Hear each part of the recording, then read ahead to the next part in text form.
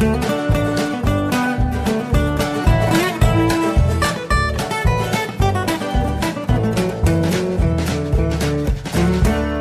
und herzlich willkommen zu Jörn Schars feinem Podcast Episode 236.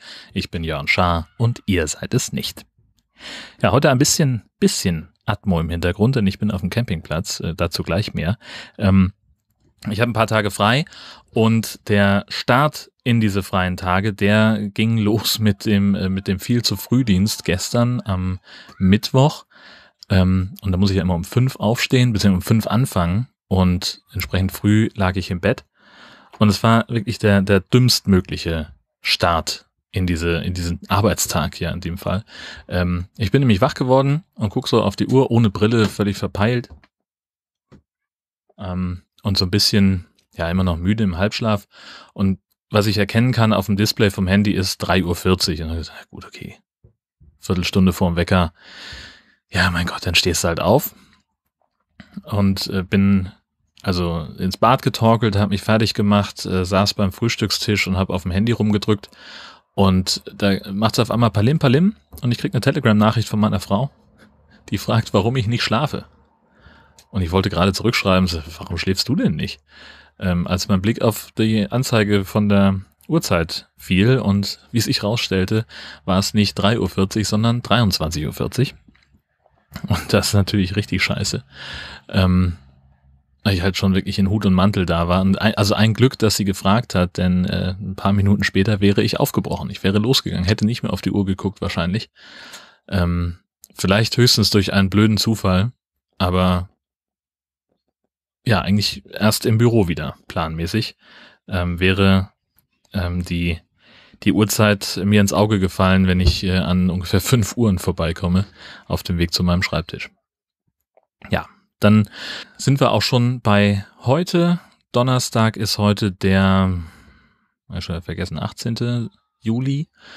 Und ich bin heute Morgen losgefahren in einen spontanen Alleine-Kurzurlaub. Äh, ich bin in Dänemark auf einem Campingplatz in der Nähe von Orbenra oder wie man es ausspricht. Also auf, der deutsche Name ist Apenrade. Ich bin ja kein, kein Freund davon, äh, ausländischen Städten deutsche Namen zu geben, aber in diesem Fall ist es halt auch einfach leichter auszusprechen und hier wohnt ja auch die deutsche Minderheit. Vielleicht hängt das irgendwie zusammen. Ja, äh, mehr dazu dann in der nächsten Folge vom Camping Caravan Podcast, wann immer die erscheint. Wir haben noch gar keinen, gar keinen äh, Termin gemacht für die nächste Ausgabe. Ähm, also was den Campingplatz angeht, da werde ich euch dann ein bisschen mehr erzählen. Ich bin auch tatsächlich gerade vor einer Stunde überhaupt erst angekommen. Ähm, war jetzt eben im Supermarkt, habe mir was zu essen gekauft, das mache ich gerade warm und da habe ich gedacht, ich überbrücke die Zeit äh, und nehme eine kleine Podcast-Episode auf. Denn dieser Urlaub ist ursprünglich aus dem Gedanken entstanden, ich muss mal ein paar Tage raus, ich muss mal ein bisschen Pause haben, mal was anderes sehen, mich mal ausschließlich um mich kümmern und im Wesentlichen rumliegen und Podcast hören und sonst nicht viel tun, außer mehrfach am Tag Siesta und einfach im Wohnwagen sein. Ähm, und dann habe ich gedacht, ist ja noch cooler, ich mache eine kleine Podcast-Klausur. Ähm, und zwar habe ich, gehe ich jetzt hier wirklich, äh, also es, es, bleibt bei dem Plan. Ich bin die ganze Zeit hier im Wohnwagen, also sind nur drei Tage, ne? Das ist jetzt nichts Wildes. Ähm, aber ich werde die ganze Zeit hier im Wohnwagen sein und tatsächlich so Podcast-Sachen machen. Ähm, und ich will ganz viel hören, natürlich. Äh, ich will mal wieder Zeit haben, äh, um, um Podcasts äh, zu hören. Und ich will aber auch ganz viel machen. Ähm, und zwar Dinge planen. Also machen, klar, sowas wie das hier, ne? eben mal schnell eine Podcast-Episode aufnehmen und raushauen, aber eben auch äh, ganz viel Planungskram machen. Ähm, ich habe ein bisschen was für einen Camping Caravan Podcast, das ich vorbereiten möchte. Ich habe mir so einen Omnia Backofen gekauft. Das ist im Prinzip, kann man sich vorstellen, wie so eine Kugelhupfform, die man umdreht und da oben noch einen Deckel drauf tut und das kommt auf den Gasherd und dann kann man da drin backen. Und das äh, probiere ich gerade aus. Da wird, wird gerade mein, mein Essen drin warm gemacht. Das ist jetzt erstmal nur ein Gericht, das man im Backofen aufwärmen muss. Äh, morgen werde ich auch tatsächlich irgendwie was machen. Denn ich habe auch ein Koch, äh, Kochbuch dazu gekauft. Und äh, das will ich auf jeden Fall mal ganz, ganz äh, eingehend dann ausprobieren. Und das ist natürlich Sendungsvorbereitung. Und ich habe mir auch ein paar Haifilme mitgenommen. Ähm, denn ich möchte die Sommerpause vom High Alarm Podcast auch eben dafür nutzen, ein bisschen was vorzubereiten, dass wir dann nicht unmittelbar in den Tagen vor der Aufnahme in Stress kommen, sondern dass wir einfach was fertig haben. Und dass es dann cool ist und dass wir die, die Zeit, die wir für die Vorbereitung natürlich immer noch brauchen, halt dafür nutzen können, dass wir, dass wir sagen, wir ähm, kümmern uns darum, dass wir, dass wir mehr coole Shark News finden oder dass wir ein bisschen eingehender in äh, irgendwelche Sachen reingucken, was, was Filmstarts und sowas angeht. Und äh, ja, das, das ist zum Beispiel auch so eine Sache, die auf dem Plan steht. Und dann will ich noch so ein bisschen so Wartungskram machen an den ähm, Blogs von den, von den ganzen Podcasts, die ich ähm, betreibe. Ähm, das sind einfach so, so ein paar Sachen, die ich mir schon länger vorgenommen habe. Einfach so Sachen, die unter der Motorhaube stattfinden. Äh, was weiß ich, die Einstellungen von den Blogs mal irgendwie einheitlich machen, dass ich also, keine Ahnung, ne, es gibt zum Beispiel, was das Datenbank-Backup angeht. Ich habe irgendwie einen Blog, da, das ist irgendwie alle vier Wochen kommt eine Mail mit einem Datenbank-Backup, bei einem anderen ist aus irgendeinem Grund alle drei Tage. Das ist natürlich totaler Quatsch äh, für etwas, wo wir irgendwie monatlich was, was veröffentlichen, wo sonst nichts weiter passiert.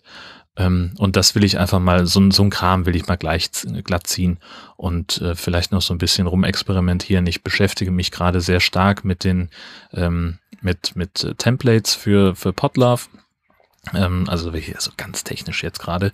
Also genau, das, das sind so, so, so Bausteine äh, dafür, wie die Episoden einzelner Podcasts im Blog und eben auch teilweise im Podcatcher dargestellt werden. Und da kann man eine ganze Menge machen, da muss man sich aber ziemlich reinfuchsen. Das ist eine ganz schöne Formelei. Habe ich jetzt schon mal mit angefangen, mit relativ gutem Erfolg, aber jetzt will ich da noch ein bisschen mehr in die Tiefe gehen und äh, da noch ein bisschen, bisschen was tun. Das ist also das, was jetzt hier stattfindet. Und äh, diese Folge ist auch so ein bisschen, ähm, verändert sich so ein kleines bisschen. Ähm, und zwar habe ich mir überlegt, ich möchte kein Outro mehr hinten an meinen Podcast ranhängen. Ähm, ich finde ja Intro ganz wichtig als Wiedererkennungswert und so, das, das bleibt auch. Aber ich habe einfach bei, bei Hashtag Gastini gemerkt, ähm, dass da da ist ja kein, da, da kommt, die sagen Tschüss und dann kommt da nichts mehr. Dann kommt da zwei Sekunden Stille und dann fängt der nächste Podcast an. Und das finde ich einfach vom Hören in meiner, in meiner Playlist einfach sehr, sehr organisch. Das hat irgendwie, das hat Charme.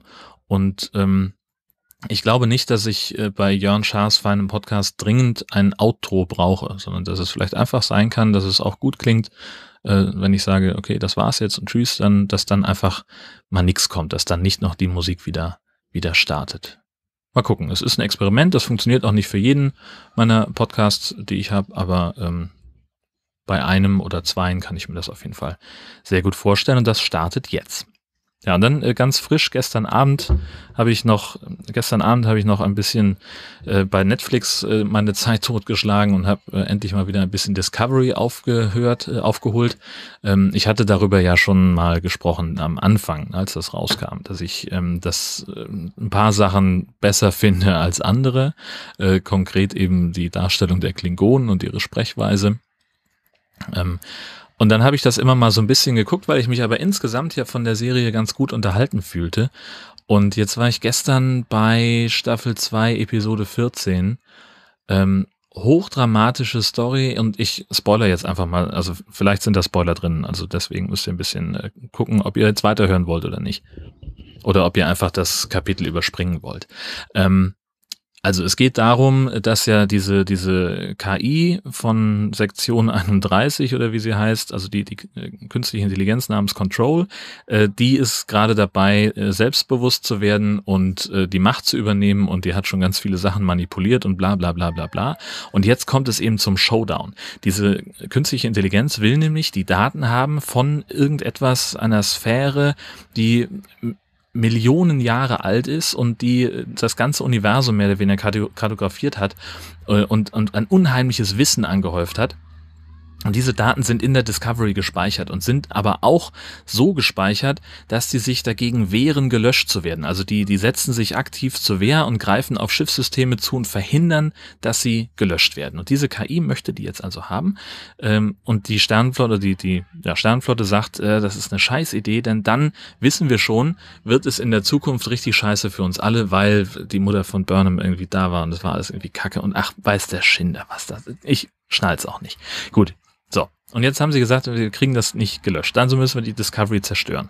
Äh, aber gleichzeitig macht sich eben diese KI, die sich in einen Captain verwandelt hat, inzwischen mit Nanobots und Biotechnologie, weiß der Geier was, die macht sich also mit einer ganzen Flotte auf den Weg zu Discovery und zur Enterprise, die inzwischen zusammenarbeiten. Und während die Enterprise das Personal der Discovery äh, evakuiert, äh, kommen die immer näher und dann wollen sie das zerstören und der Selbstzerstörungsmechanismus funktioniert nicht, dann schießen sie drauf, Schilde sind online, aha, die Daten schützen sogar das Schiff vor der Zerstörung, vor der, der ultimativen Löschung der Daten geht also nicht. Also müssen sie alle wieder an Bord und müssen wegfliegen, um eben vor, vor der KI in Sicherheit zu sein. Und dann geht's richtig rund. Dann sind diese beiden Schiffe, die Discovery, die Enterprise, mit manipulierten Shuttles, die auf Superkampf ausgerichtet sind und mit extra Waffen, bla bla bla bestückt. Und dann kommen diese 31 Schiffe und die haben es irgendwie super vorausgesehen, haben sich irgendwie 200 Shuttles da besorgt, bla. Und sie sagen, alles klar, jetzt können wir kämpfen, aber wir sind sowieso in der Übermacht. Und die KI sagt, denkste. Und äh, stellt sich raus, sie hat selber irgendwelche Drohnen-Shuttles dabei. Hunderte, Tausende und es geht richtig zur Sache. Mordsmäßiger Weltraumkampf sieht richtig geil aus und gleichzeitig müssen die anderen ja jetzt ihre Strategie dann hinbekommen. Äh, sieht so aus, dass Michael Burnham sich einen Anzug baut, mit dem sie durch die Zeit reisen kann. Sie haben vorher einen Zeitkristall sich von einem Klingonenplaneten besorgt, muss man wissen. Ähm, und der kommt komplett aus dem 3D-Drucker in Einzelteilen. Man konnte das nicht anders machen. Ja, man kann das nicht replizieren oder so, sondern man muss das wirklich drucken und dann nochmal anpassen und zusammensetzen wie so ein Puzzle. Das heißt, das dauert einfach mal zwei Stunden. Ihr müsst den jetzt hinhalten. Und zwischendurch, während diese ganze Raumschlacht tobt und sie unter Beschuss geraten, Dinge explodieren, Zeug fällt auseinander, finden die immer noch mal Zeit, irgendwie anzuhalten, zu sagen, hey, ist total schön, mit dir zusammenzuarbeiten. Ich habe dich echt gern ge äh, lieb gewonnen in den letzten zwei Jahren. Oder der, der Schiffsarzt, der, der von den Toten auferstanden ist und sein, sein Freund, der Chefingenieur, äh, die kommen irgendwie auf einmal wieder zusammen. Zwischendurch. Während der eine, der Ingenieur ist schwerst verletzt und muss ins Koma und dann hat der andere aber noch Zeit, ihm zu sagen, du, ich hab dich echt wieder lieb und nimmt sich einfach mal die Zeit, während der Typ leidet und oder äh, was weiß ich dann, schlägt ein Torpedo in die Enterprise ein. Auch geil, ein Photonentorpedo. Schlägt ein in die Enterprise, explodiert aber nicht, steckt da einfach in der Hülle und sie sagen, mein Gott, wenn dieses Ding explodiert, dann schlägt es ein Loch über vier Decks, das ganze Schiff ist weg oder das halbe Schiff, alle, die drauf sind, müssen äh, elendig krepieren.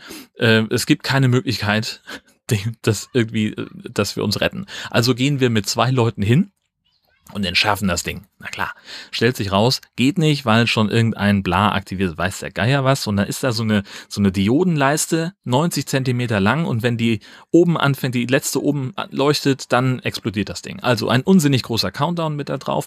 Außerdem toben rechts und links die Weltraumschlachten. Und wir haben zwischendurch beim Entschärfen dann immer noch mal Zeit zu sagen, nee, ich find's auch voll gut, was sie in den letzten Jahren hier für das Schiff getan haben. Das muss man auch mal zu würdigen wissen. Also ihre Arbeit ist echt gut. Und du sitzt da und denkst dir, Alter, verschwendet keine Zeit, redet da später drüber, entschärft die Kacke. Nein, geht nicht. Man kann es auch nicht umprogrammieren, bla bla bla. Und dies, das, alles geht nicht. Dann müssen sie noch mal kurz sich unterhalten. Inzwischen äh, der erste Offizier weg, äh, Captain Pike rein mit dem Admiral zusammen und die haben sowieso irgendwie was am Laufen. Und dann müssen wir da nochmal drüber diskutieren. Und dieser absurd lange Countdown läuft einfach ab und wir haben jetzt noch 90 Sekunden Zeit wir machen trotzdem noch mal ein Päuschen und reden drüber, wer von uns beiden jetzt im Raum bleibt, denn es gibt nämlich noch die letzte Lösung und zwar ein Shot, ein Notshot, das den ganzen, den ganze, die ganze Sektion abriegeln kann. Davon gibt's zwei. Das eine funktioniert, das andere nicht, weil der Computer es nicht mehr steuern kann aus Gründen. Es gibt aber einen Hebel, mit dem man das Ganze manuell bedienen kann. In der unendlichen Weisheit der Schiffskonstruktionsabteilung der Sternenflotte gibt es nur einen, und zwar in. So, jetzt müssen Sie also erstmal noch eine kurze Pause einlegen und ausdiskutieren, wer von den beiden jetzt diesen Hebel zieht, sprich im Raum bleibt und sich opfert für alle anderen. Ich habe mal gestoppt, ne? Die diskutieren drei Minuten lang. Und jetzt kommt ihr. So, und gleichzeitig ist ja die Rettung. Burnham ist mit Spock, ihrem Halbbruder Spock, irgendwo ein paar Kilometer abseits auf so einem, was weiß ich, Trümmerbrocken, egal, haben sie also ihren 3D gedruckten Zeitreiseanzug so, damit soll sie ein Wurmloch öffnen und die Discovery soll damit durchfliegen in die Zukunft, damit das dann mit den Daten irgendwie aus dem Zugriff von der KI ist. Ich weiß es nicht. Was weiß ich. Es ist auch nicht wichtig. So, und jetzt stehen sie dann da. Es pressiert echt, ne? Also die anderen sind da gerade echt, werden von der KI behagt mit 30 Schiffen und diesen tausenden Drohnen. Die Schilde sind runter auf 12 Prozent und Burnham und Spock diskutieren erstmal aus, wie es in ihrer Kindheit war.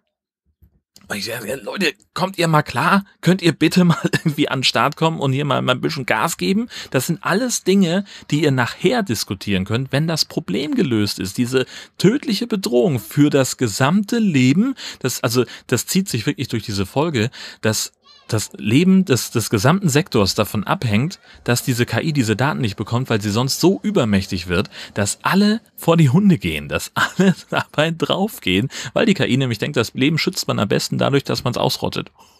Keine Ahnung wieso. So, aber das müssen sie alles noch ausdiskutieren. Alter, hab ich mich geärgert. Ich, ich saß, ich konnte gar nicht mehr sitzen. Ich bin vorm Fernseher hin und her gelaufen. Ich habe die ganze Zeit mit denen geschimpft. Die haben gesagt, jetzt mach das endlich mal zu Ende. Äh, es geht nicht es, es kann doch nicht wahr sein. Das, ich habe bei Twitter heute geschrieben ich bin immer noch stolz auf den Spruch, diese Serie fühlt sich im Kopf so an, im, im, im Gehirn so an, wie Bounty schmeckt, nämlich ekelhaft, widerlich. Es macht mir Zahnschmerzen und Kopfschmerzen gleichzeitig und ich möchte ein bisschen würgen. Mir läuft so ein bisschen die Kotze den Hals hoch. Mann! Im Übrigen bin ich der Meinung, dass Horst Seehofer als Bundesinnenminister zurücktreten sollte. Ich wünsche euch eine fantastische Woche. Bis bald.